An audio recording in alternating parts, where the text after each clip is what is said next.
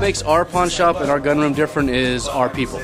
We tend to go by the golden rule, and not that other shops don't use the golden rule, but we treat people as if it was our mom or dad or sister or brother, and we do that on a daily basis with every single customer that walks in to make them feel like we want their business, not that they just have to do business here, is that we want their business, and I think that attracts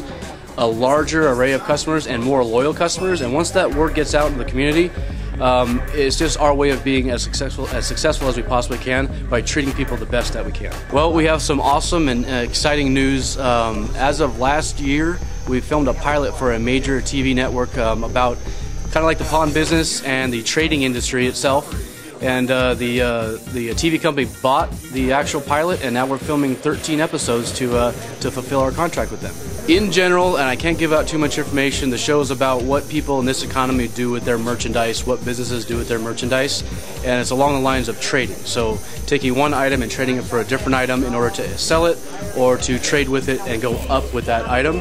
And uh, it's just following along with what I do on a daily basis in my life outside of the pawn shop and the gun and the gun room. Uh, you almost definitely at this point will see me on a TV show unless something goes bad. Um, knock on wood, and I hope it doesn't. But we're working real hard to try to bring some publicity to Hesperia, Victorville, Apple Valley, and try to bring some more business here.